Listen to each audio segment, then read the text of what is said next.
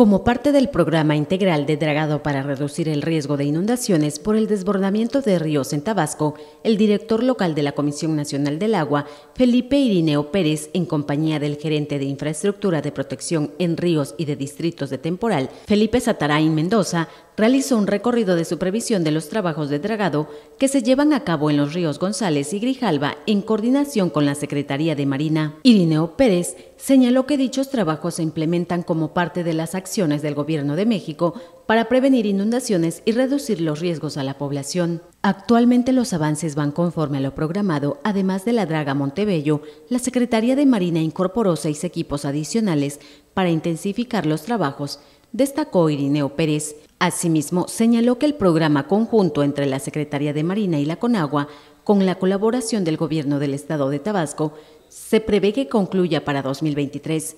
Por su parte, Felipe Satarain Mendoza agradeció la eficiente coordinación interinstitucional para la realización de estas labores,